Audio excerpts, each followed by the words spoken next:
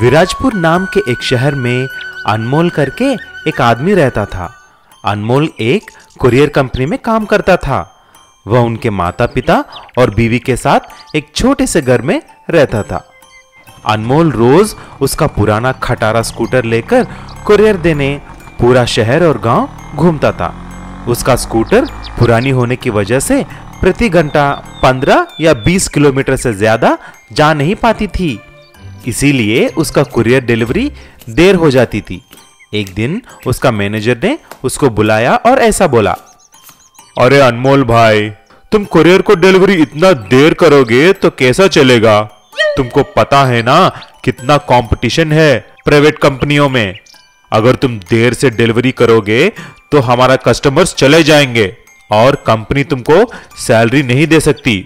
सोच लो। ठीक है सर मैं कल से सावधान रहूँगा। लेकिन सब कुरियर वालों को अच्छी स्कूटर और बाइक इस्तेमाल करते हुए देखकर वो भी नया गाड़ी खरीदने की सोचता है। लेकिन उसके पास पैसे नहीं थे। फिर अनमोल और उसके कंपनी में दो दोस्त मिलकर एक योजना बनाते हैं। अरे यार, मैं एक लकड़ी की हेलीकॉप्टर बनाना चाहता हूँ और उस हेलीकॉप्टर से हम जल्दी कुरियर डिलीवर कर सकते हैं। इसके लिए हमें पैसा इकट्ठा करना है। क्या बोलते हो यार? लेकिन यार वह उड़ेगा कैसे? अरे यार भूल गए कि मैं एक मैकेनिकल इंजीनियर हूँ। मैं स्कूटर के इंजन के साथ लकड़ी की हेलीकॉप्टर उड़ा सकता हूँ। आइडिया तो एकदम सही है यार। ऐसा सोचकर तीनों दोस्त मिलकर अनमोल के स्कूटर को हेलीकॉप्टर में बदल डालते हैं। और अगले ही दिन से अनमोल कुरियर डिलीवरी उसी लकड़ी के हेलीकॉप्टर से करने लगा। वह टाइम से पहले ही डिलीवर कर रहा था। अनमोल को देखकर उसके दो दोस्त भी ऐसा ही एक लकड़ी की हेलीकॉप्टर मांगा और अनमोल उनको बहुत ही कम दाम में उनके स्कूटर को लकड़ी की हेलीकॉप्टर में तैयार कर कर देता है। इन तीनों को हेलीकॉप्टर इस्तेमाल करते हुए देख उसका मैनेजर ऐसा बोला, अरे भाई लोग, तुम्हारा हेलीकॉप्टर देखा है मैंने। वाह, बहुत ही अच्छा है। और इस जमाने से बिल्कुल ही आगे है। अनमोल, मैं तुम्हारा नाम एनुअल अवार्ड्स के लिए रिकमेंड कर दूँगा। तभी से अनमोल पूरे कंपनी में बहुत ही मशहूर हो जाता है और मैनेजर ने कंपनी में सारी एम्प्लॉयज़ की स्कूटरों को हेलीकॉप्टर में बदलने का कॉन्ट्रैक्ट भी अनमोल को देता है। ऐसा अनमोल बहुत ही कम दाम में सारे स्कूटर को हेलीकॉप्टर में बदल देता है। ये सब देखकर कंपनी वाले ने अनमोल को एम्प्लॉय ऑफ़ द ईयर का अवार्ड भी देते हैं। इस बात से खुश होकर एक दिन अनमोल अपने माता पिता और बीवी को उसी लकड़ी के हेलीकॉप्टर में सारा शहर दिखाने के लिए ले जाता है। इस कहानी से हमें ये शिक्षा मिलती है कि एक आइडिया ज़िंदगी को बदल सकती है। बहुत समय पहले दुर्गापुर नाम का एक गाँव रहता था। उस गाँव में शंकर नाम का एक किसान अपने पत्नी दुर्गा और बेटा विनोद के साथ रहता था। शंकर के पास थोड़ा ही ज़मीन था और वह उसी पे टमाटर का खेत लगाकर खेती करता था। लेकिन कुछ दिन से शंकर का तबीयत कुछ ठीक नहीं था। वो बुरी तरह से बीमार पड़ गया और कुछ भी काम कर नहीं सका। उसका घर चलाना भी बहुत मुश्किल हो गया था। तभी विनोद खेती करना शुरू कर देता है। पिताजी, आप बिल्कुल परेशान मत हो। मैं पूरा काम संभाल लूँगा बस आप जल्दी ठीक हो जाइए। लेकिन कुछ दिन के बाद शंकर उसकी बीमारी की वजह से गुजर जाता है और उसका टमाटर का खेत भी खराब हो जाता है। विनोद बहुत उदास हो जाता है और एक मंदिर के यहाँ जाकर रोने लगता है। तभी वहाँ पर एक बाबा भीख मांग रहा होता है और वह ऐसा पूछता है, बेटा, तुम इतना उदास क्यों हो? तुम भगवान के पास आए हो तो ऐसा नहीं रहना चाहिए। अरे बाबा मेरा नसीब ही खराब है। एक तो मेरा पापा गुजर गए हैं और मेरा खेत भी खराब हो गया है। ऐसा बोलते ही उस बाबा ने विनोद को कुछ जादुई जल देता है। बेटा ये कुछ जादुई जल है। इसको तुम्हारी खेत में डालकर देखो शायद ये तुम्हें काम आ जाएगा। विनोद बाबा से जादुई जल लेकर वहाँ से चला जाता है। लेकिन फिर मुड़कर देखा तो बाबा वहाँ पर नहीं है। तभी विनोद समझ जाता है कि वह बाबा के पास जादुई शक्तियाँ हैं। विनोद जाकर उस जल को खेत में डालता है और जाकर सो जाता है। ऐसा ही कुछ महीने बीत जाते हैं, लेकिन उसके खेत में कुछ भी नहीं उगता। फिर एक सुबह जब विनोद सो रहा था, उसकी माँ चिल्लाती है अरे विनोद ये देखो हमारे खेत में क्या हुआ? माँ की आवाज़ सुनकर विनोद बाहर आकर देखता तो वहाँ पर एक पेड़ है जिसको बहुत सारे सोने के टमाटर थे। अरे विनोद ये सब कैसे हुआ? ये तो चमत्कार है।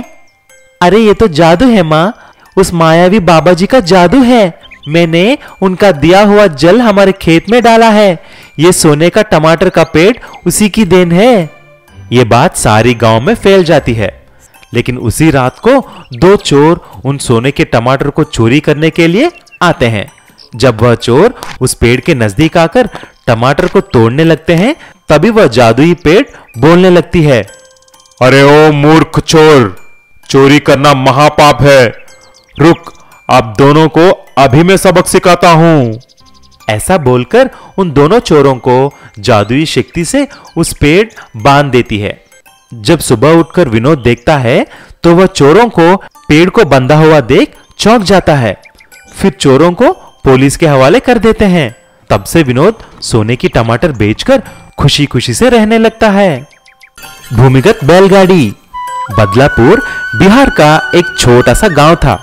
उसमें सुभाष नाम का एक आदमी रहता था। सुभाष उसके माता पिता और एक भाई छोटू के साथ रहता था। सुभाष के पास एक बैलगाड़ी भी थी, लेकिन उसको बैलगाड़ी चलाना बिल्कुल नहीं अच्छा लगता था।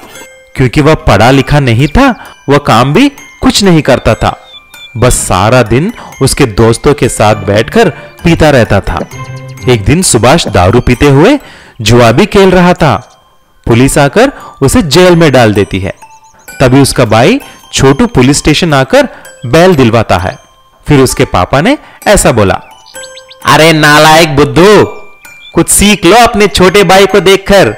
वह कितना मेहनत करता है, पूरा घर भी चलाता है। तुम भी मेहनत करके कुछ पैसे कमाओ, तभी पता चलेगा तुमको। लेकिन सुभाष सुधरता नहीं है। पैसों की लालच में आकर उसके दोस्तों के साथ मिलकर उसने एक प्लान बनाया। गाँव के अंदर उसने एक भूमिगत सुरंग खोदता है और यात्रियों को बैलगाड़ी में बिठाकर, भूमिगत सुरंग में ले जाकर सारा पैसा लूटने के लिए सोचता है। एक दिन सुभाष का भाई छोटू का दोस्त गाँव में आता है। अरे भाई, चलोगे? मुझे बदलापुर जाना है। ठीक है सर, चलिए। लगता है आप कुछ ज़रूरी काम से आए हुए हैं। आइए, मैं आपको जल्दी बदलापुर लेके जाऊँगा। ऐसा बोलकर उसको बैलगाड़ी में बिटा लेता है। कुछ दूर जाते ही सुभाष उसको उसी भूमिगत सुरंग में ले जाता है और ऐसा बोलता है, अरे ओ साहब, चुपचाप अपना सारा पैसा मुझे दे दो, नहीं तो इसी सुरंग में गाड़ दूँगा। जान प्यारी है तो बाहर जाकर किसी से कुछ मत बोलना। ऐसा बोलते ही वह आदमी डर जाता है और उसके पास जो भी पैसा था सुभाष को देता है। बाहर जाकर सारी बात उसके दोस्त छोटू को बता देता है। तभी छोटू को अपने भाई पर शक हो जाता है, क्योंकि उस गाँव में दो तीन ही बैलगाड़ी वाले थे। फिर एक दिन छोटू अपना वेश बदलकर सुभाष का बैलगाड़ी के यहाँ आ जाता है। तभी सुभाष उसको बैलगाड़ी पर चढ़ने के लिए बोलता है, आ जाओ साहब, कहा जाना है? मैं तुम्हें सुरक्षित गाँव में लेके जाऊँगा। कुछ देर के बाद जब वह सुरंग आता है सुभाष उसके अंदर बैलगाड़ी को लेकर जाता है। छोटू को धमकाने लगता है। साहब अभी उतरिए। बहुत हो गया। आपके पास जो भी सोना पैसा कुछ भी है हमारे हवाले कर दो। नहीं तो सीधा भगवान के पास पहुँचा दूँगा। तभी छोटू को सारी बात पता चल जाता है। उसका वेश निकालते हुए ऐसा बोलता है भैया मैं तुम्हारा भाई छोटू हूँ। आज तुम मुझे ही लूटने के लिए देखा है? ये ठीक नहीं है भैया। छोटू को वहाँ पर देख सुभाष चौंक जाता है और बहुत शर्मिंदा हो जाता है। तब से छोटू को शपथ करता है कि वह अभी से ईमानदारी से जीऊँगा। उसके बाद सुभाष ने अपनी बैलगाड़ी ईमानदारी से चलाकर अपने घर को चलाने में भी हाथ बटा देता है। बड़ा ट्रैक्टर, टायर और चोर। जंगपुर गाँव के पास के जंगल में एक गुफा में सोनू और उसकी गैंग रहती थी। सोनू की गैंग आसपास के गाँव से चोरी का सारा सामान गुफा में इकट्ठा करते थे। वो आसपास के गाँव में जो भी सामान चोरी करते, जैसे सोना, चांदी, बर्तन और बाकी कीमती सामान उस गुफा में छुपा दिया करते थे। लेकिन चोरी करने के कारण उन्हें हमेशा पुलिस का डर लगा रहता था। लेकिन जंगपुर और आसपास के गाँव में चोरियाँ बढ़ने के कारण पुलिस वहाँ पे दबिश देने लगी। और उन्होंने सोनू गैंग के एक दो चोरों को पकड़ भी लिया था। लेकिन किसी भी चोर ने अभी तक गुफा का पता नहीं बताया था। यह देखकर सोनू चोर की चिंता बढ़ने लगी। भाइयों, कुछ सोचो। अगर पुलिस हमारी इस गुफा तक पहुँच गई तो हमारी सारी मेहनत बेकार हो जाएगी। और सालों से जो हमने यहाँ धन इकट्ठा किया है, वो सारा पुलिस पकड़ लेगी। लेकिन उस्ताद, हम क्या कर सकते हैं? बाहर तो पुलिस का सख्त पहरा है तभी एक चोर ने सोनू को सलाह दी। सोनू, उस्ताद, मेरे पास एक ट्रैक्टर है। क्यों ना ऐसा करें, ट्रैक्टर में सारा चोरी का सामान भरकर अपने खेत की फ़सल में दबा देते हैं। जब समय मिलेगा, शहर ले आकर बेच देंगे। हाँ ठीक है, ऐसा कर सकते हैं, लेकिन गाँव की सीमा पर तो पुलिस का पहरा है। गाँव में लेकर कैसे जाएँगे? वो तो सभी वाहनों को चेक कर रहे हैं। तभी एक गैंग मेंबर को एक बच्चे को टायर से खेलता देख एक आइडिया आता है। और वो सोनू को अपना आइडिया बताता है। हाँ ये ठीक रहेगा। सोनू और उसके आदमी सारा चोरी का सामान ट्रैक्टर के बड़े बड़े टायरों में छुपा देते हैं और उन्हें फिर से ट्रैक्टर में लगाकर उसे चलाकर गाँव की तरफ़ ले जाने लगते हैं। लेकिन गाँव की सीमा पर पुलिस उनका ट्रैक्टर के चेक करने लगती है। रोको, क्या है इस ट्रैक्टर में? अरे, कुछ नहीं है, सर। देख लीजिए, आप खुद चेक कर लीजिए। पुलिस ट्रैक्टर को चेक कर कर जाने देती है। और ऐसे ही धीरे धीरे थोड़ा थोड़ा सामान ट्रैक्टर के टायर में डालकर वो लोग गाँव में छुपाने लगते हैं। लेकिन एक दिन गाँव की सीमा पर पुलिस वाले अपने डॉग स्क्वाड के डॉग से उस ट्रैक्टर को चेक करवाते हैं। डॉग स्क्वाड का कुत्ता ट्रैक्टर के अंदर कुछ सुनकर भौंकने लगता है। पुलिस वालों को उन पर शक हो जाता है। क्या है इसके अंदर? रुको! हमें तुम्हारे ट्रैक्टर के टायर खोलने पड़ेंगे। अरे अरे नहीं सर, ऐसा कुछ नहीं है। ये सुनते ही सभी चोर वहाँ से भाग जाते हैं। पुलिस उनका पीछा करती है। वो सोनू और उसके गैंग को पकड़ लेती है और ट्रैक्टर के टायर के अंदर से सारा चोरी किया हुआ सामान भी बरामद कर लेती है। सोनू चोर के गैंग के पकड़े जाने के बाद जंगपुर और आसपास के गाँवों ने चैन की सांस ली। जिस चोरों के गैंग को बड़े बड़े पुलिस वाले न पकड़ सके, उसे डॉग स्क्वाड के डॉग ने एक मिनट में पकड़ लिया।